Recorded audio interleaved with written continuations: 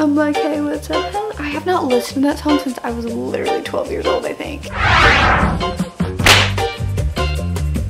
best way that I take care of situations is by ignoring them.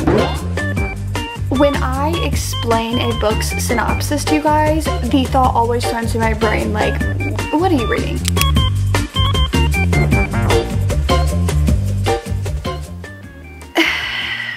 I'm back. We're doing it again. We are so back.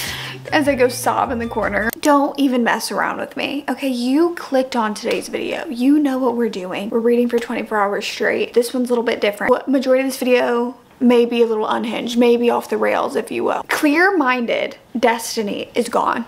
She's over there. She's gone. Don't even worry about her because she's not here. In, in turn, you get this. Undercaffeinated me. You guys know how I do my 24 hour readathon. So for example, right now it is 7.38. Oh no, that's 17.38. so stupid. Okay. I'm like, hey, what's up?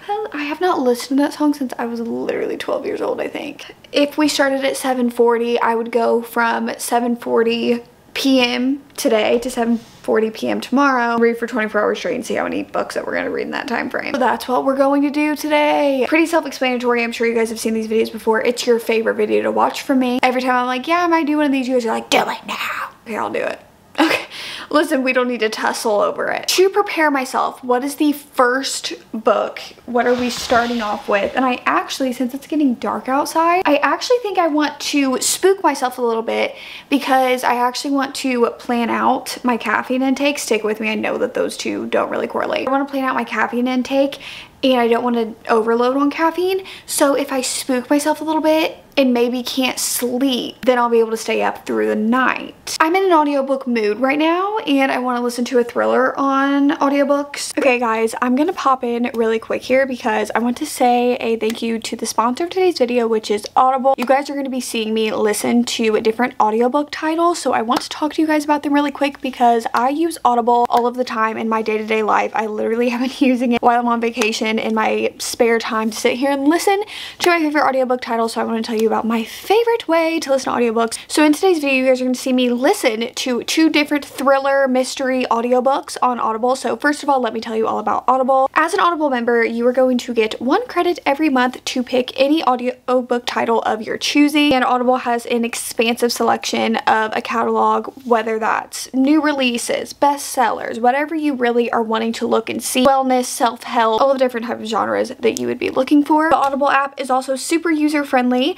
I use it all the time when I am working out, when I'm sitting in my bed, when I am on the go in the car. It's very easy to navigate, which is always the most important because sometimes apps can be a little bit confusing, but Audible has it all figured out. Also, as a member, you would get full access to their growing selections of audiobooks, Audible originals, and podcasts. Now, as I said, you guys are going to see me listen to a few different mystery thriller audiobooks. So I want to talk to you guys about those really quick. I've recently been in my mystery thriller era with audiobooks. I have just found since I'm such a tough critic when it comes to mysteries and thrillers, I decided that listening to them would be the best thing for me. So in this video, you guys are going to see me listen to a few of them and Audible is absolutely the best place to go for those because they have an expansive selection with mysteries and thrillers. You guys can look through all of their thrillers and they have so many of their different audiobooks. They also have Audible Originals, which is very unique and cool and I really like. And they have podcasts. It's very easy to navigate. They're even going to recommend you some that they think that align with your taste, which I really love. Personally, I had heard everybody talking about how listening to None of This Is True by Lisa Jewell was so good and that's what got me on to listening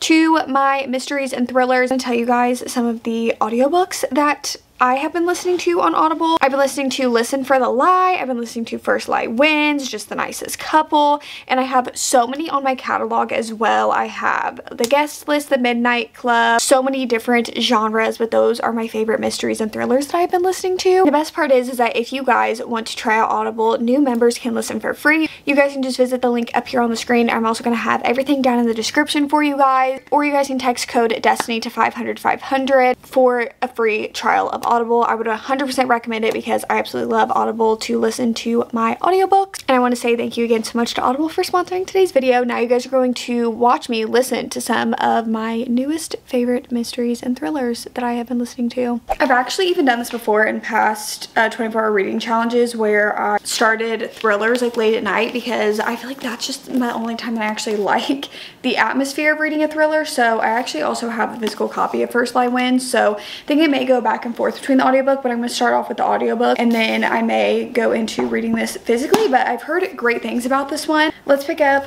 First Lie Wins and go with my over-the-ear headphones.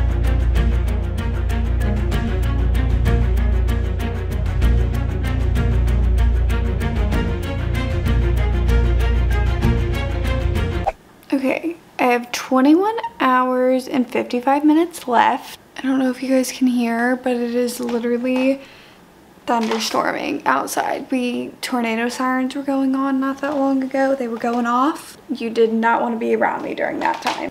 I'm on chapter 14 right now of First Lie Wins. It's definitely more of like a kind of mystery suspense. It's not like super enthralling to me. I'm not like, ooh, what's going to happen next? It, I think it is because I thought that it was going to be like a thriller and it's more of that like kind of mystery suspense. But I think I'm going to try to read the physical portion of the book. I feel like I've, I'm probably, honestly, I've read about 30% of the book.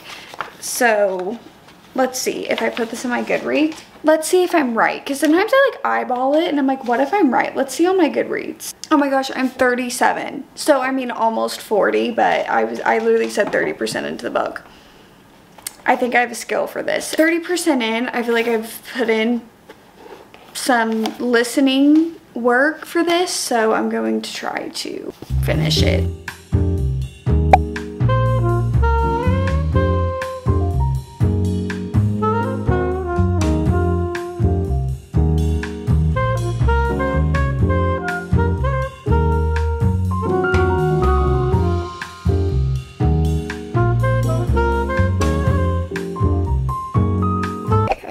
20 hours and 19 minutes left and just finished the first book. Wow, just finished First Lie Wins. If you guys have watched these videos, you guys know I do all of the like ratings and reviews at the end because they can change by the end of the month, but I like to save them for the end so I have at least some time to think on them. Just giving a little snippet. I did really, really enjoy this. I know my last update, uh, I guess this is more of like a mystery and it is like kind of like a mystery suspense is what I would call it. It's so funny because right after I filmed that clip and then I continued reading, I literally could not put the book down because at first I was going to complain and say like, oh, we're getting like these different little snippets and it's just boring to me. But then I started realizing that it all clicks into place and it is so mastermind. I was just really going with story. I was trying to follow the threads and I really thought I had it, but I didn't. And I just love when that happens. So it is 11.30 p.m. Take a look at that.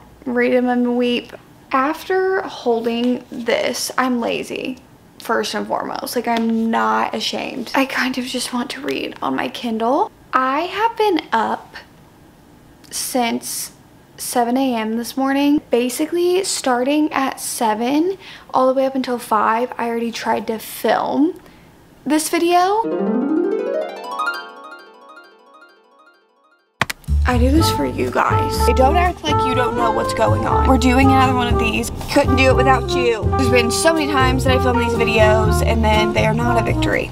Okay, I'm looking on Audible. I think I'm gonna do Tom Lake. Are we starting it? Are we starting it? Boom. This is one. HarperCollins and Harper Audio present Tom Lake.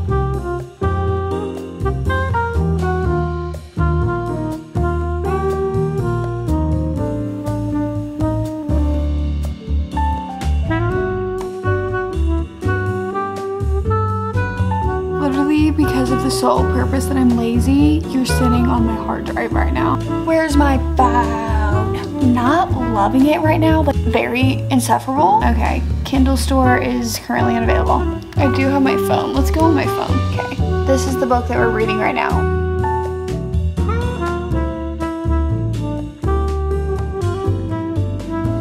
Like in my brain, the pacing in which I was getting through things and just the way that the video was being filmed and the energy around the video, oh no no this isn't good this isn't good. Okay we have to scrap it. I'll just start over tonight. So i'm saying that to say earlier i had started trying to read one day but this is i just figured out definitely not a book that i can just sit down and binge. Saying all of that to say earlier i downloaded the catch and i decided that i'll read that. It's a new release. It's uh amy lee. Is it amy lee or amy leah? I don't know. The influencer series it's basically like about influencers but this one's like she goes to a small town and he's like a lobster fisherman. I decided to read it because it the premise of it literally is it happened one summer. It's like not the same exact but it's the same in that stance. I really enjoyed it happened one summer. It's like a four or above for me.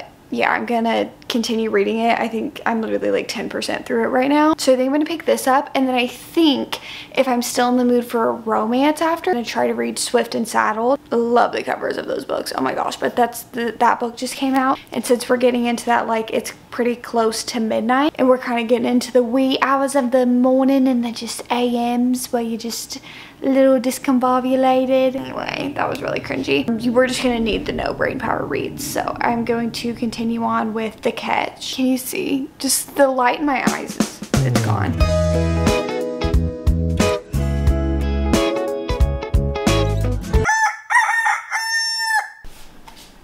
I fell asleep. We're not gonna talk about it. I'm gonna move past it. The best way that I take care of situations is by ignoring them. I think I got like 25% into the catch. I just saw this. It was saying recommended for you. It says just the nicest couple from the author of Local Woman Missing. I think I may listen to this one just because I think I really, I have been really liking listening to kind of like mysteries. Going to do this one. I'm gonna head off the door now. Going to go to the gym, be in the car, and I'm gonna listen to this one. Oh my god, this is a tr I'm trying not to stress out about falling asleep. I need sleep. And I'm not stopping the timer because I guess we'll just see how much I can read in the 24 hour time span that I gave myself. I have nine hours and 41 minutes left. I am still listening to Just the Nicest Couple and I'm really really enjoying it. It's like so good. Like the mystery of it. I haven't read a plot like it and I'm really liking listening to it and I like the two point of views we're getting. It's kind of like opposite ends of it. It's just, it's good. I'm, I'm liking it. I'm being entertained. I just got back from the gym. What I'm actually about to do is I think I'm gonna go over to Barnes because I wanna get Swift and Saddled and I plan on taking like my headphones with me. Probably just like browsing around listening to my audiobook and then I'll probably sit down and read there. I'll listen to my audiobook while I do those things and hopefully maybe get some reading done. I just got this new tote bag from Erin Made. It's where my other tote bag is from that you guys ask about all the time. Some of my book sleeves, you know, wallet, keys, all of that stuff. So let's go to Barnes.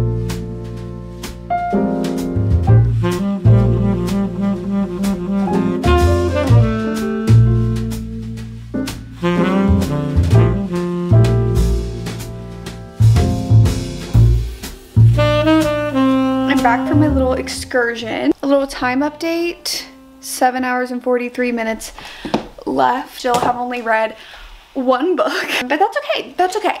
Listen, not that worried about it. the whole entire reason that I went to Barnes to just kind of like sit there and browse to look for. I wanted Swift and Saddled, which is the second book because the first book is done and dusted. And I was going to go to the Barnes that was a little bit further because that's one that popped up and said they had it. But then I checked my local Barnes, my more local Barnes, are both local Barnes. And it said that they had it.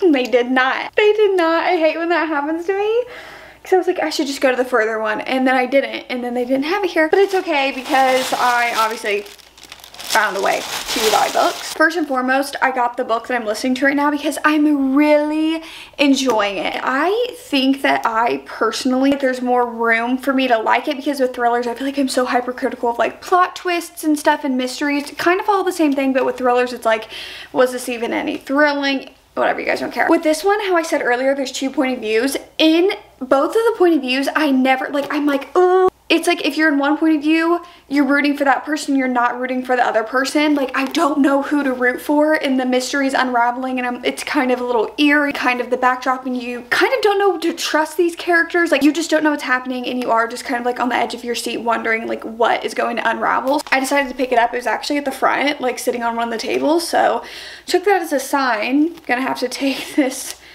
sticker off. They, I feel like they've been making them easy to peel off, which, hey, I appreciate. Since it was buy one, get one 50 on like the other table, we had Nora Goes Off Script, and I actually have the other author's book, which is same time next summer. The Influence of Bestie Haley. I bought Liane Moriarty's Apples Never Fall.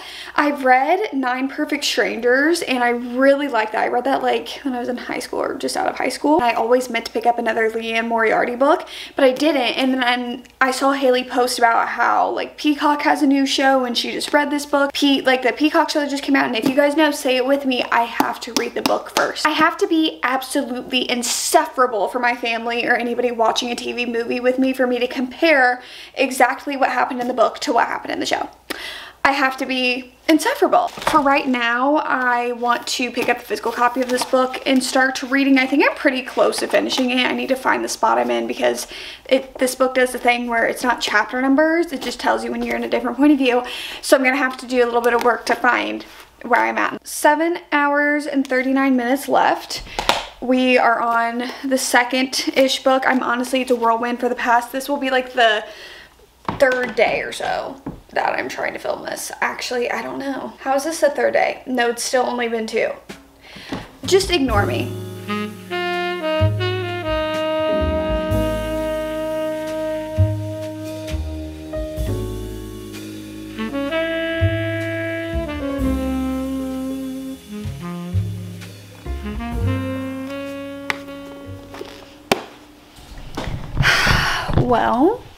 Just finished the second book for today's video. We actually finished another book.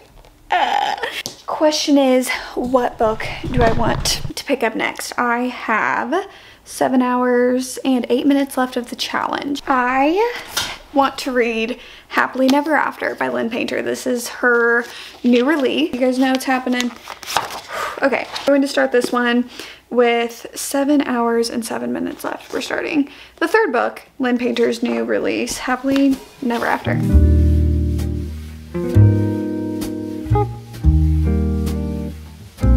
Have four hours and 58 minutes left. I just finished this book, so now we have finished three books. Every time I do the challenge, and I'm like, yeah, if you could do the full 24 hours, I wonder how many books you could finish because we're literally going to be going on to the fourth book for today's video. Anyway, I think I'm going to try to read Swift and Saddled. Finally, I feel like I've been talking about the book this entire time and I just haven't been reading it. I love these covers. This doesn't show it very well, but I love those covers so much. I need to find that book a Rebel Blue Ranch novel. That's what the series is called, Rebel Blue Ranch.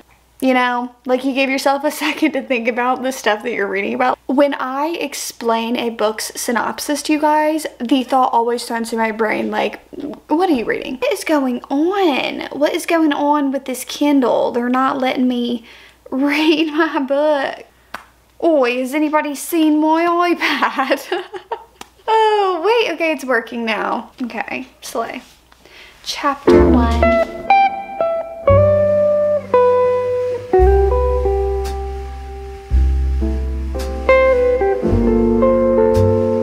Two hours and 14 minutes and I just finished Swift and Saddled. Not sure how I feel about it. Not sure how I feel about it. Didn't love it. We don't have to get into all that right now. I don't know. I don't know what we can do.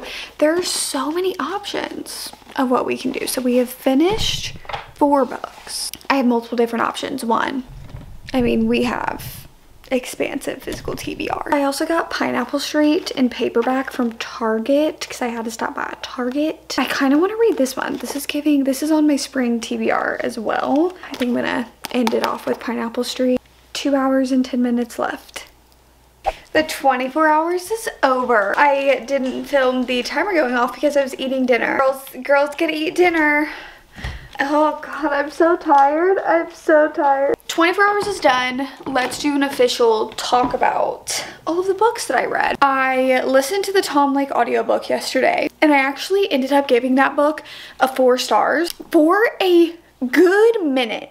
And I mean, for a good great while, I really thought to myself like, wow, this is about to be a five star. The story started, I was in it, I was like, wow, I love it so much. It just started really kind of like slowing down for me in parts that I feel like really didn't need to be like talked about so much. Essentially, Tom Lake is a story of this mother telling her daughters a story of her in her like 20s and how she kind of got into acting and dated a famous actor back when she was in her 20s and it's so, so much more than that though. Going into it, I'm just gonna say it's that there's so much more talked about in the story, theme in the story. It's so good. It's so much more than just like a mom telling the story and I really would recommend the audiobook. It's one of my favorite audiobooks that I've ever listened to, if not my favorite. Meryl Streep is the narrator and I really just, I loved it. I feel like maybe even she just made the experience 10 times better. And then I think after that, I went back and forth between a lot of books and then decided, you know what, I'll just start over and that's where this video technically started. In this video, video, at the start of this video,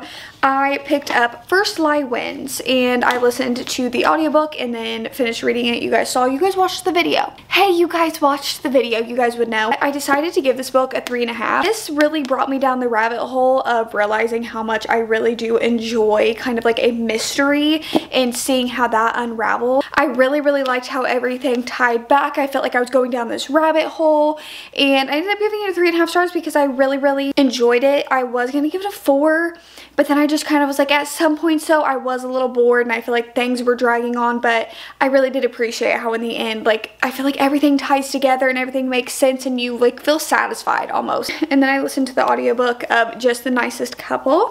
And again, we have another mystery. Since, like, what is it with me? I have just been like voluntarily been in my thriller mystery era. I think I'm gonna land on a three stars with this one. I would recommend it. I think it's a good mystery. Definitely guessed like as we were going down, I was like, yeah, I know where this is going, but there were so many moments in this book where one, like you're going back and forth from point of views. You genuinely, like you don't know who to root for, but I think it started to kind of like, one, it was predictable for me. I literally guessed it kind of like from the beginning because if you look at stuff close enough sometimes, but I still really liked it. It had me very, very enthralled with the audiobook as I was listening. I was walking through Barnes, Target, like running errands, just like at the gym this morning and I was like, wow, like no, I feel like somebody's actually talking to me and like dishing out tea because it's told from the first point of view. This one I'm a little nervous to talk about. So then I read Happily Never After.